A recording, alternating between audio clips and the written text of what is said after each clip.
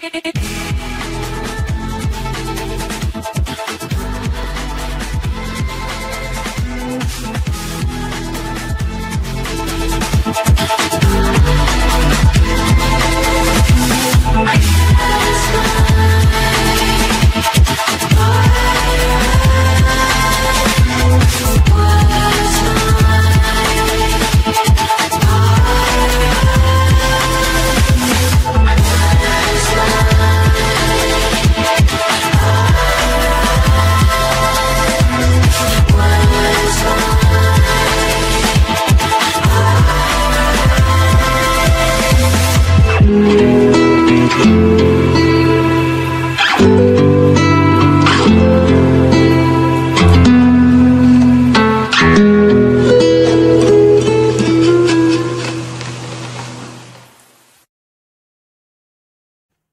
Jesus' name. Amen.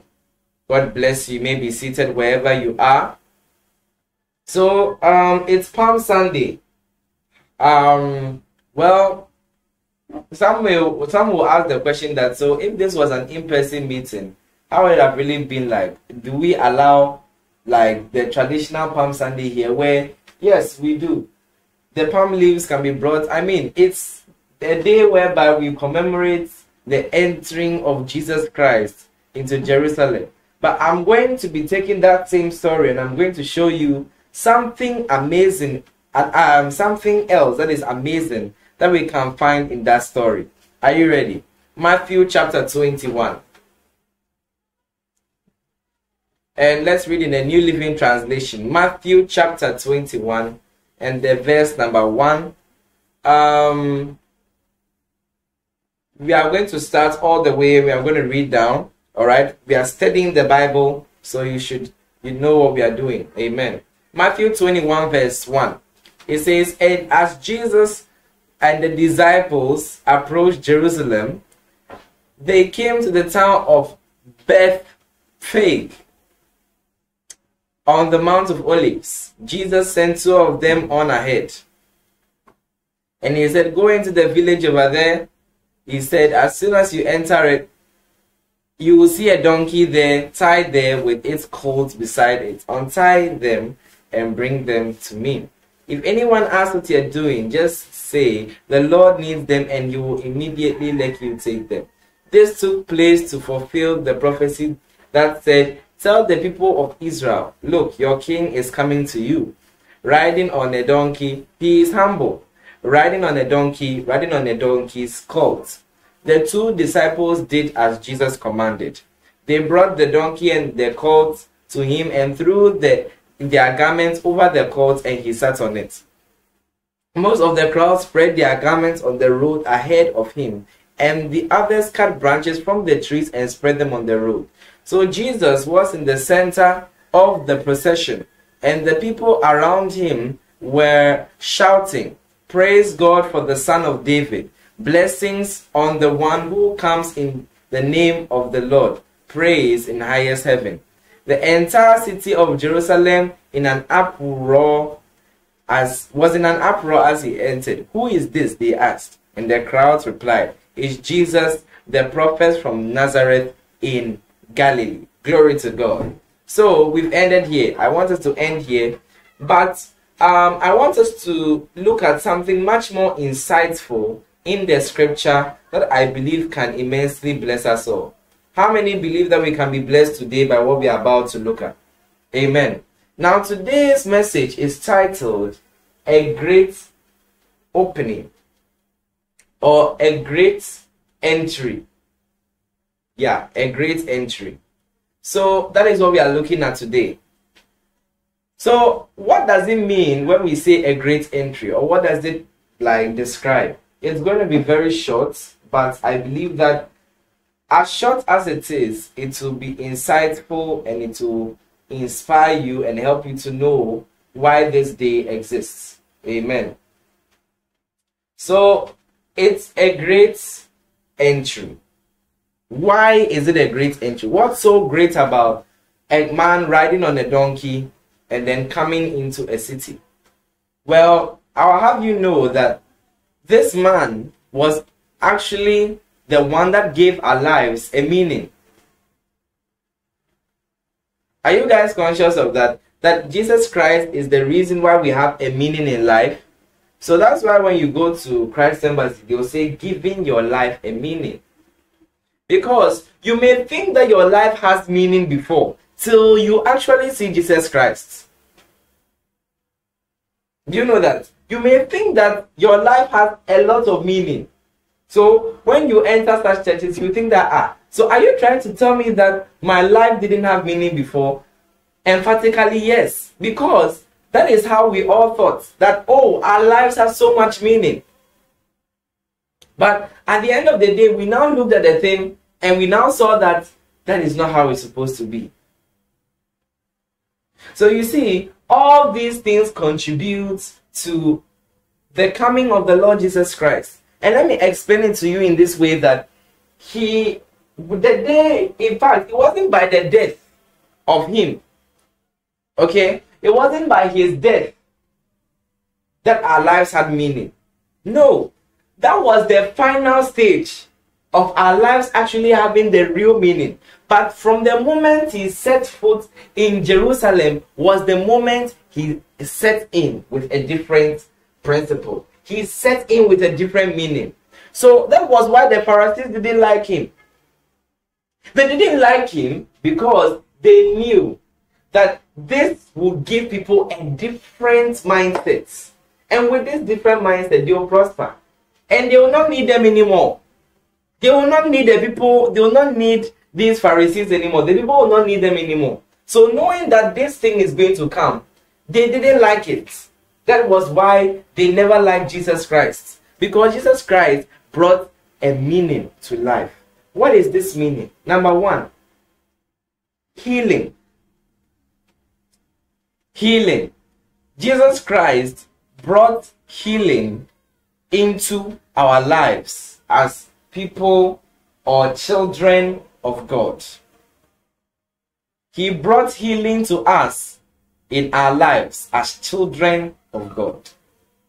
Have you ever thought about it that way?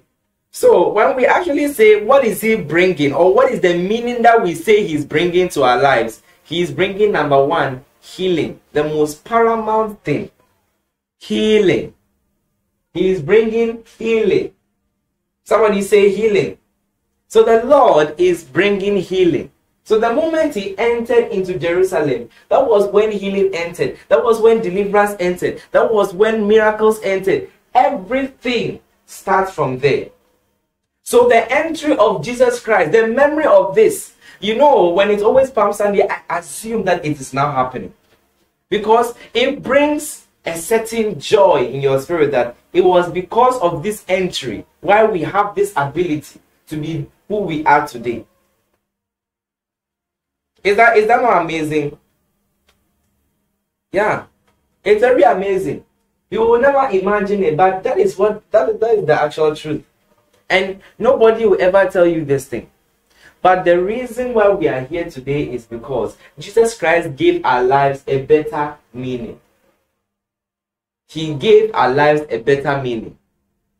He wanted our lives to have a certain meaning different from the others. That was what would differentiate us from the Pharisees. The Pharisees were just following laws. Here was where things were happening with Jesus that were even above the laws. And you know that nobody is above the law. Do you know that? Even Jesus Christ is not above the law. He cannot violate the law. But there are certain things that he surpassed what even the law was saying. For example, the Pharisees say that they don't heal on the Sabbath. So are you telling me that if somebody is dying and you have the ability to heal the person, you don't heal on the Sabbath?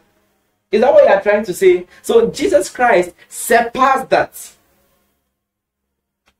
He brought that freedom. He brought that right that we can violate any law that goes against his principle that he has brought. Because he came to reconnect us back to our original source.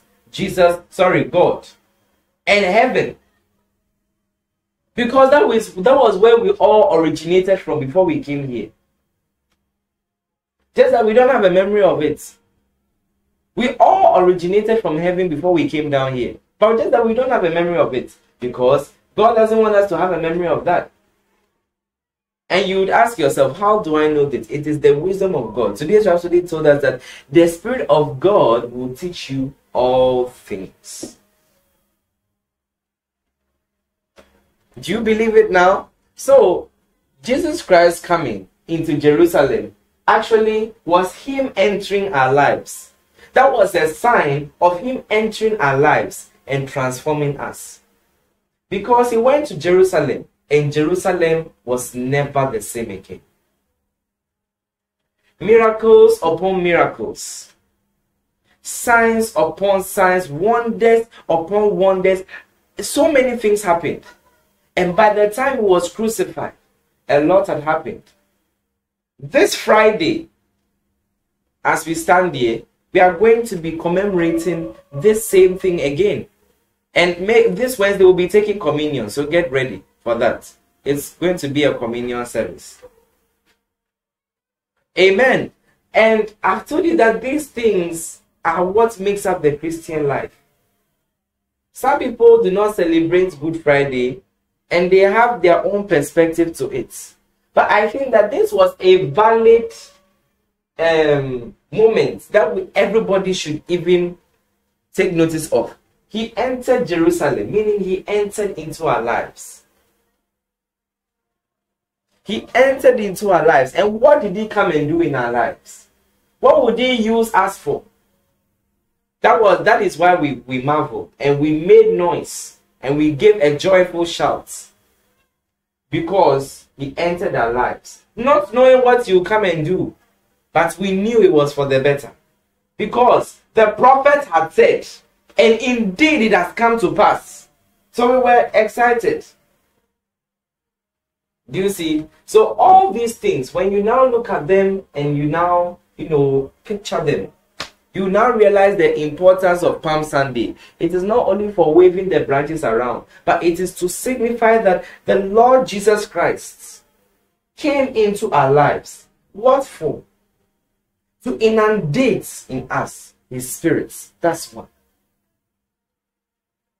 Someone will ask yourself, why did the Lord Jesus Christ come into our generation? What did he come to do? Why would he want to use me of all people? Just ask yourself that question. It's just by the grace of God. It's just by Jesus Christ entering into your life. So Jesus Christ entering into that town, meaning that he was there to alter and to change the place for the better. So you see, in the realms of the spirit, there is always change. So don't think that the same strategies that happened or that you used a year back will work for this year. No. You need to update yourself. Eh, eh, eh, a baby cry, the, the phone that you are using that to, to watch this thing, it has a moment where it needs to update. It has a moment where it needs to update because it can't stay the same. Something has to change. Do you understand what, where I'm coming from this afternoon? Yeah, something has to change because the same strategies that they are now bringing into technology, because technology is ever changing. So if you don't also transform or make updates, you are going to be stagnant or you are going to be left behind. And people are going to leave your brand. So even a phone even has the ability to update itself. So it's the same thing. He came to update our lives. He came to change our lives for the better. Because he realized that if he does not do anything about it, it's going to remain like that for God knows how long. So his so the second coming. And the second coming would, have, would not have been possible if he actually did not come the first time. Amen. His first coming would not have been possible in fact, the second coming would not have been possible if he didn't come the first time. Sorry, that was what I meant to say. So it's very important and it's very key that we notice that he entered into our lives to come and make a difference, to come and make an update. Because things had altered and changed in the spirit. So then it was now time for us to also upgrade, change our rank.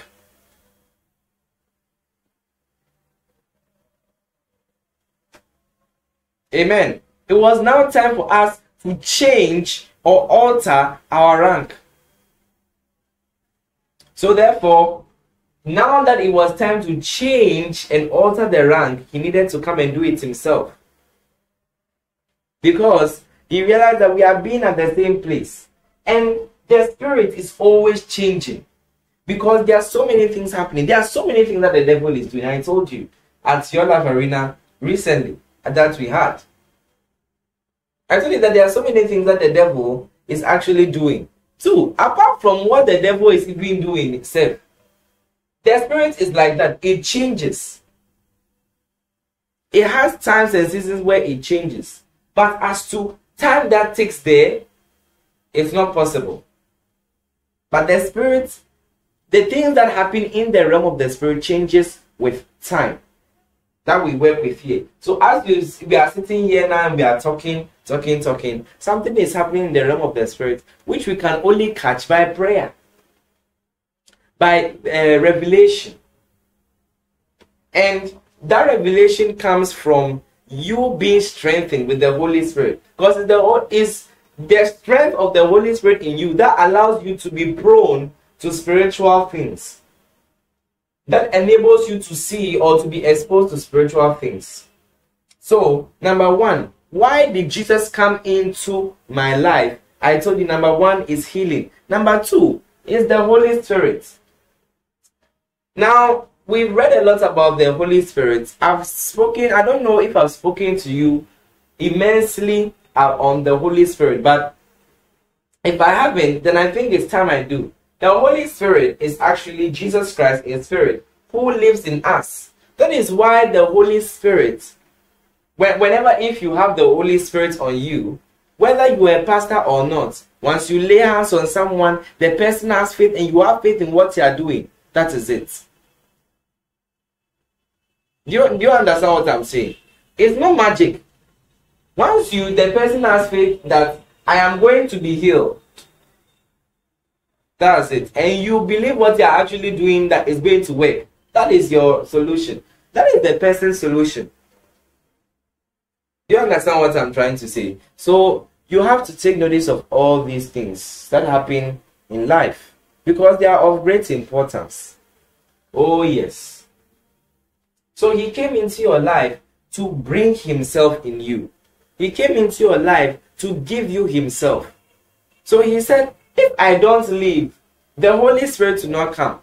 But I will give you another comforter, allos parakletos, another comforter of the same kind. Okay, so he said that I will give you another comforter of the same kind. Of the same kind means it's of the same lineage. So it can either be a duplicate of him or a different person or a different spirit, and it was a duplicate of him. These revelations you catch directly from the spirit. You, you, you can tell certain men, will think that, oh, it's like you are going mad. But it's not so. That is how it is. The Holy Spirit that dwells in us is Jesus Christ working actively in us. So whenever you are praying, you activate Jesus Christ in you. That is why we say that whenever you come to church and you leave, we are to see the attitude, at least a little bit of the attitude of Jesus Christ that dwelleth in you. Do you understand where I'm coming from this evening? Exactly. So you need to understand or you need to come to the understanding of the matter that in this life as a Christian, it is very, very, very necessary for you to have the Holy Spirit and be strengthened in it. Not just have it for fashion's sake, but to be strengthened in the Holy Spirit. Else you'll be found wanting. Because that that's Jesus Christ in spirit. So if there's anything that you should be looking for, if it is the gift of prophecy you want, seek Jesus Christ because he was the best person to do that. That is why we say, seek the Lord himself, not me. Because I can't do anything. It is only His Spirit that He has given unto me, into me, to use to also show people the way. But apart from that, I am just a shell. And we are all shells. We will be, oh, listen, We are all nobodies. Had it not been for the Lord, do you know where would you, you would have been right now? No, be very honest. You. Had it not been the Lord, do you know where you would have been right now? Ask your neighbors somewhere if you are watching with somebody. Or personally ask yourself if you are watching alone. Do you know where we would have been right now if the Lord had not intervened or if He did not come into your life? Your life would be miserable. Hence, you, you wouldn't even live to see this day. Your parents wouldn't have lived to see this day, not to even think about reproducing to give birth to you who is watching this thing. So it is a very great thing to serve the Lord, and it is a great opportunity to have the Lord to enter into our lives. A mortal body, an immortal entered into a mortal body just to reconcile, just to give us a better life. And you are telling me that Christianity is too hard. After all these good things that He has done for you, all you need to do is to lay your life down for Him. And you are telling me that Christianity is hard. It is difficult on the way. But once you are able to remain in size, once you are able to understand the sacrifice, the thing that He actually did on the face of the earth, when He was there at the time, you will know that it is worth it if you put every worldly thing away. So nobody will even have to tell you anymore. You would automatically know. You would know. Do you understand where I'm coming from? So it is very, very key, very, very important that we know why Jesus Christ came today. He came for one to give healing, to give healing into your life. Because look, be- before he came, many were suffering. You remember the woman that Jesus Christ met at the well and told her that you've not had one husband for you I've had five, and even the one you are with is not even married. You are not even married to him. Now, don't think that because they just said it like that, it seemed like we be a from or something that was supposed to be taken light lightweight. If that's the direct, that's the only good translation I can find for you. It's more than that. A woman was divorced, married, divorced, married, divorced five good times. Don't you think she's going through emotional stress? Maybe you may think that those things were not possible back then, but believe me, you they were. It is in this generation that we highlight those things. Why? Because we feel like it is damaging the people slowly. So that is why we have mental wellness now. But still, it was there previously, just that it was not as dominant as it, as it was today in our current world. So the, she had emotional damage. Do you really think at that point, after marrying, divorcing, marrying, divorcing five times, she really believed in love anymore? She just believed that she needed to have a man beside her to help pay the bills and to help do certain things at home, as the man had destined uh, uh, as God had destined the man to do. Oh, I'll find another one. So at that point, she, she was tired. And Jesus came. And Jesus seemed different to her. And she knew that this was different.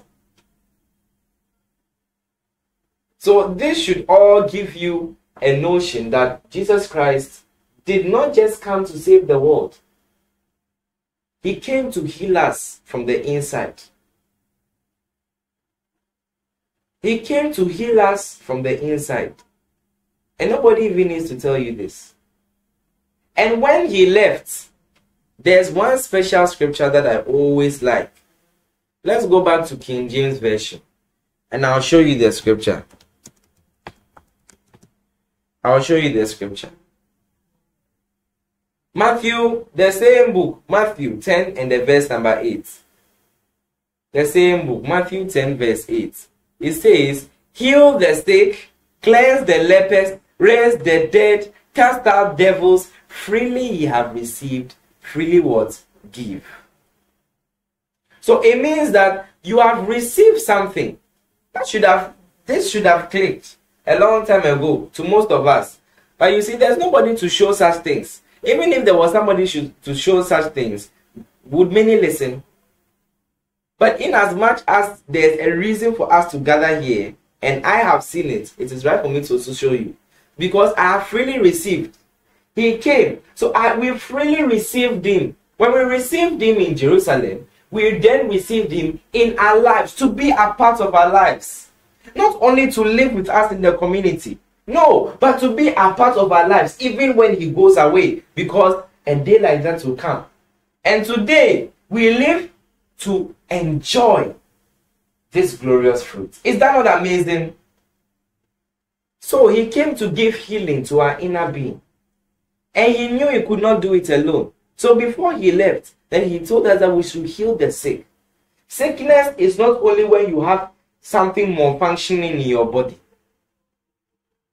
Sickness can be financial, emotional, so many things, psychological. Sickness can be so many things. So when, when we talk about healing, healing goes a far, far way beyond sickness. Haven't you been seeing the promotional videos that we've been showing? There's one that we've been showing repetitively. And it, it, there's a testimony there that says healed of depression. That should show you that sickness goes a long way than lung this, uh, diabetes this, cancer type 2, AE type 2, weight type 3, uh, type C4. You it goes a long way than just sickness. He came to give healing to our inner man. Because there was so much happening around that time that even when you try to contemplate, hmm, when you try to contemplate it, it can damage your mind. So he saw this and he said, No, I can't let my children suffer in the hands of these Pharisees. My children cannot be stagnant. The Christian was never created to be stagnant. So, therefore, why should he allow a mere man to allow his children to be stagnant?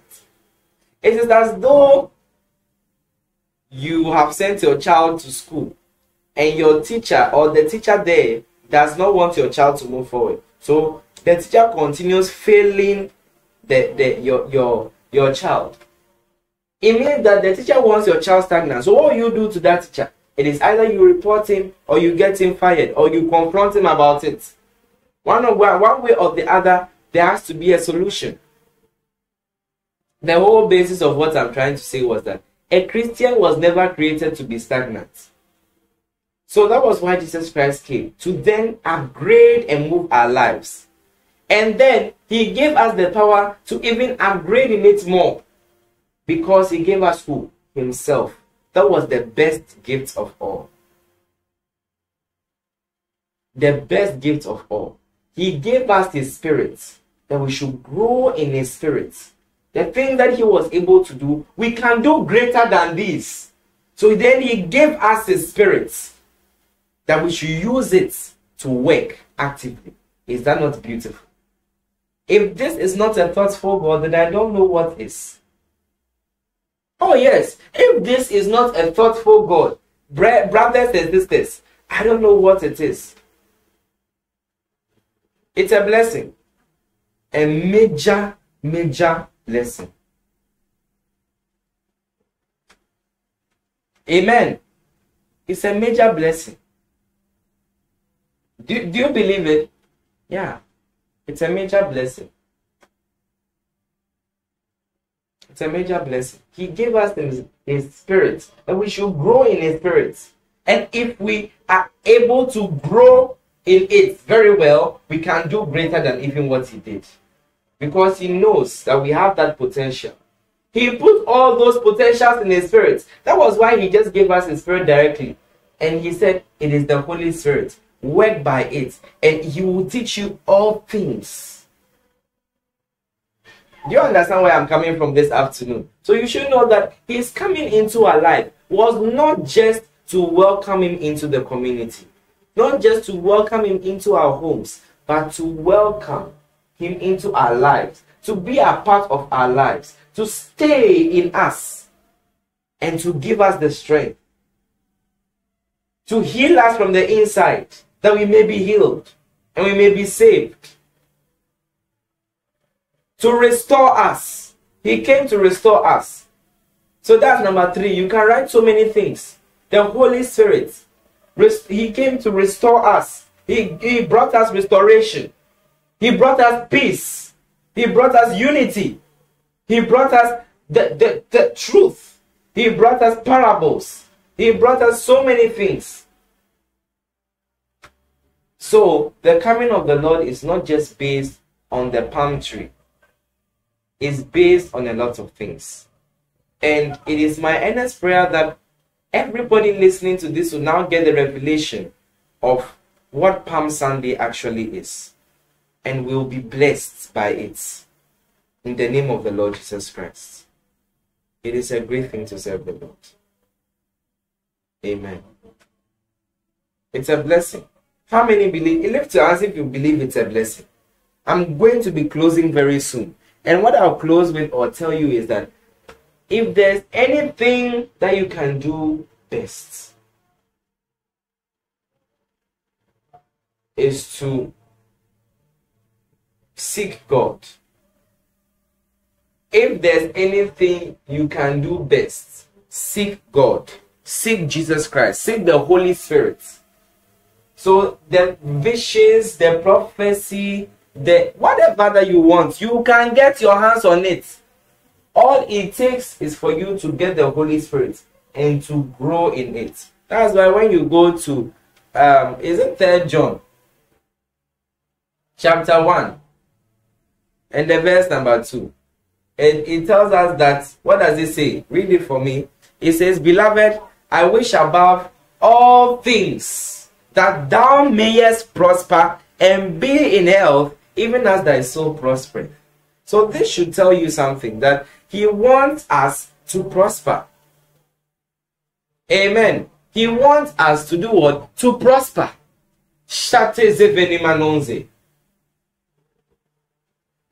Is, is that not exciting? So he, he said, Beloved, I wish above all things that thou mayest prosper and be in health, even as thy soul prospereth. So the spirit even grows to that extent whereby it becomes a part of your soul. Because your, the, the spirit of God, the spirit of Jesus Christ will prosper you and it not only prosper you, will prosper your spirit, your mind, your soul, and your body. Hallelujah. So, you have to understand this. It's a simple truth that I wanted to share with you in a short time. And it is my prayer that this truth will go out to many. Beloved, as this week comes, let us think about our God, the sacrifices that He made for us. Let us commemorate them. Let us cherish it. Let us cherish it. Amen. And I believe we'll be blessed in Jesus' name. Stand to your feet. Let us pray right now. Father, thank you for everybody who has joined us for this glorious meeting. We ask that as we have gathered, may the blessing of gathering be upon them and keep them. May the word that they've heard today and may the truth that they've heard today take them a long way. May it give may this word give them more insights on why you came. In Jesus' name. Amen. God bless you. you may be seated wherever you are.